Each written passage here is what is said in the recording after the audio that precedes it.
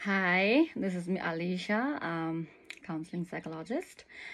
Um, म चाहिँ आज के भन्न आइरहेको छु भन्दाखेरि चाहिँ मान्छेहरूले चाहिँ कतिचोटि कमेन्टहरूमा मेरो ओभर थिङ्किङ हुन्छ म्याम के गर्ने? केही सजेसनहरू दिनु न भन्छन् होइन? तर तपाईँहरूलाई म यो भन्न चाहन्छु ओभर थिङ्किङ भनेको पहिलो स्टेप कहिले पनि होइन। पहिलो स्टेप भनेको के हो थाहा छ तपाईँलाई?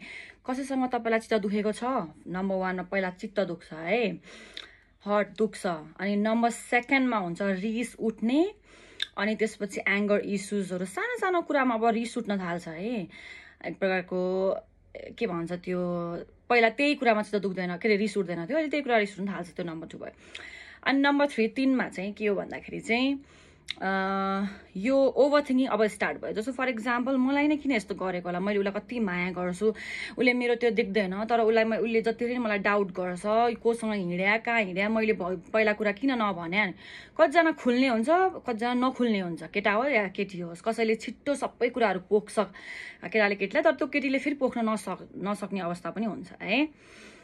अनि त्यसपछि त्यो भइसकेपछि अर्को के हो भन्दाखेरि चाहिँ फोर नम्बर चार नम्बरमा चाहिँ अब हुन्छ लाइफमा up and down up and down भनेको चाहिँ जस्तो जीवनमा आफूले सोचेको कुराहरू चाहिँ नहुनु जस्तो बिहान उठेर म नुहाइधुवाइ गर्छु अनि म खाना पकाउँछु अनि म काममा जान्छु अनि म फर्केर आएर मार्केट गएर सामान ल्याउँछु अनि बेलुका चाहिँ यतिखेर सोच्छु केही प्लानिङ अनुसार हुँदैन है। अनि नम्बर फाइभमा पाँच नम्बरमा चाहिँ अब अब हुन थाल्छ कि लाइफ चाहिँ डामाडोल हुन्छ। जस्तो तपाईँले चाहिँ कति कुराहरू चाहिँ गडलाई प्रार्थना गरेर यो होस् त्यो होस् भन्छ नि त्यो हुँदैन है। त्यसपछि लास्टमा सिक्स नम्बरमा छ नम्बरमा चाहिँ अनि हुन्छ लाइफ डामाडो के अरे डेली लाइफ इफेक्ट हुन्छ।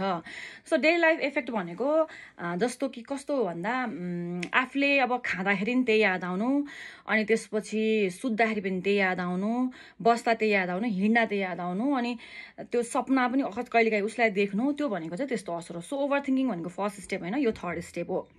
त्यसपछि अब लास्ट सेभेन नम्बरमा सात नम्बरमा के हुन्छ। अब चाहिँ मेन्टल हेल्थ र फिजिकल हेल्थ असर गर्छ। पहिला मेन्टल हेल्थ मात्रै थियो भने अब फिजिकल हेल्थमा जान्छ। जस्तो फर इक्जाम्पल हामीलाई टाउको दुख्यो मात्रै भने हामी औषधि खाँदैन तर हाम्रो शरीरमा ज्वरो आएको जब थाहा पाउँछौँ तब हामीले चाहिँ सिटामोल लिन्छौँ। अनि हामीलाई मुखबाट मात्रै वाकक आउनु लाग्यो भने त्यो औषधि खाँदैन। तर हामीलाई चाहिँ वाकक मात्रै होइन डाइरिया पनि लाग्यो भने हामी औषधि खान्छौँ। हामी चाहिँ खाँदैनौँ? खान्छौँ। हो त्यो कुराहरू चाहिँ तपाईँले याद गर्नु। अनि अर्को एउटा स्टेप चाहिँ म अर्को भिडियोमा भन्छु।